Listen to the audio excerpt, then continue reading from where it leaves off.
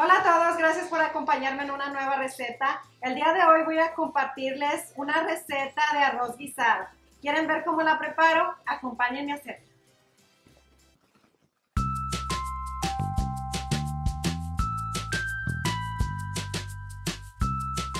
Voy a necesitar una taza de arroz previamente lavado, una cucharada de consomé de pollo, un cuarto de cucharada de comino molido o entero, sal al gusto, dos jitomates, un diente de ajo, un cuarto de cebolla pequeña, cuatro bolitas de azafrán mexicano. Y ahora vamos a la preparación. Lo primero que vamos a hacer va a ser moler el jitomate, que aquí yo ya lo corté para que sea más fácil para la licuadora, pero si no, no necesitas, no lo hagas el ajo, la cebolla y el azafrán. No les mencioné que le voy a agregar agua. Aquí tengo media taza solamente para que muela la licuadora. Si necesitas ponerle más, puedes hacerlo. Lo tapamos y vamos a licuar.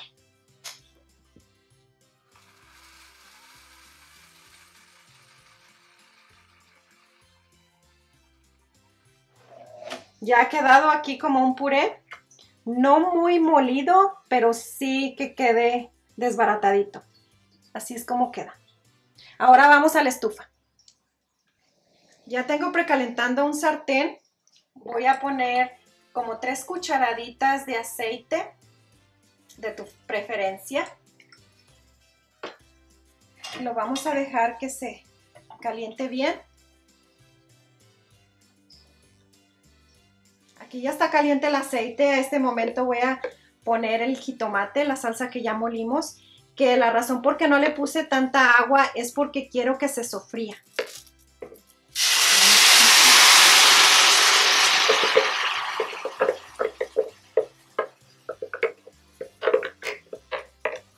Lo vamos a dejar aquí que se sofría. Le vamos a agregar el comino que si lo estás usando entero, lo puedes moler con el jitomate. Y lo vamos a dejar que se sofría unos minutos. Aquí ya está bien sofrito, ya redució su, su cantidad, está hirviendo y ahora le voy a agregar cuatro tazas de agua que se las agregué al vaso de la licuadora para que se limpie todo el, el jitomate que se quedó.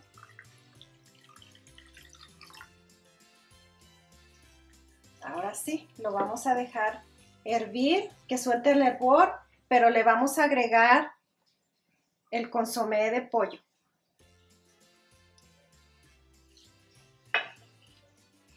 Ahora sí. Lo vamos a dejar que suelte el hervor y regresamos. Aquí ya soltó el hervor, ahora ya le vamos a agregar el arroz.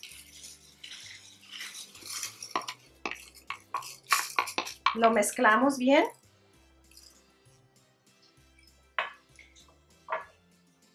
Le vamos a ajustar el sazón si le hace falta. Si le necesitas sal, le puedes poner en este momento, que yo le voy a agregar un poquito. Pero es al gusto, puedes ponerle nada más consomé.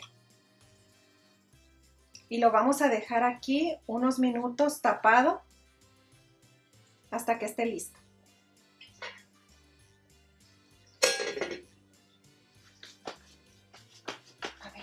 Vamos a revisarlo. Han pasado 10 minutos de que lo tapé.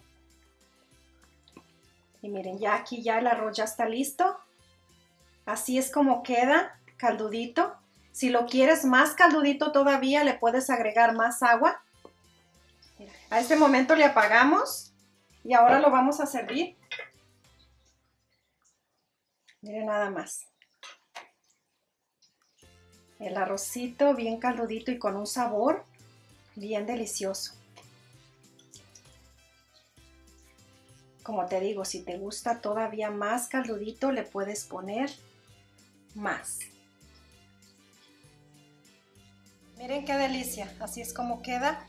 Y yo le voy a poner encima un poquito de cilantro para hacerlo todavía más rico. Miren nada más. Bien delicioso que queda este arroz. Una manera diferente de prepararlo.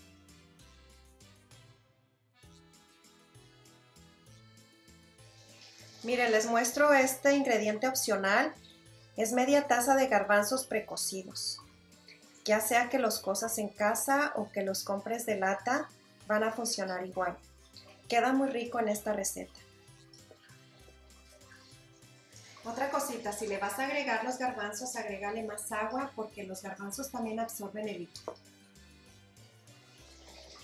Si le vas a agregar estos deliciosos garbanzos, te recomiendo que los agregues después de que hayas agregado el arroz, que ya tenga unos minutos con hervor, los agregamos.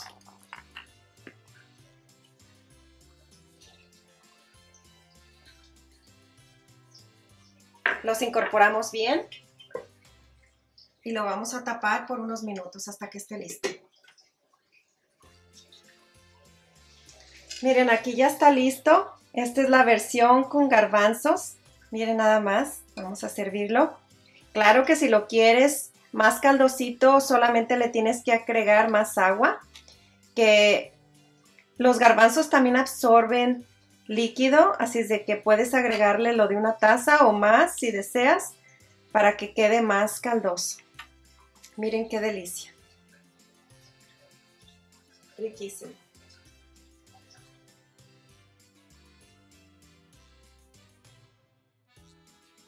Y ahora a probarlo. Miren nada más.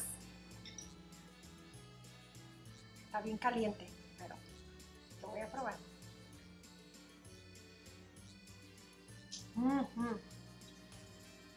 No saben el sabor que tiene este arrocito.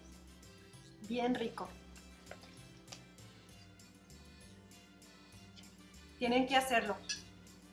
Denle un me gusta. Suscríbanse a mi canal. Gracias por haberme acompañado hasta el final de esta receta. Si te ha gustado, dale un me gusta. Suscríbete a mi canal. Compártelo con familiares y amigos. No olvides tocar la campanita para nuevos videos cada semana. Adiós.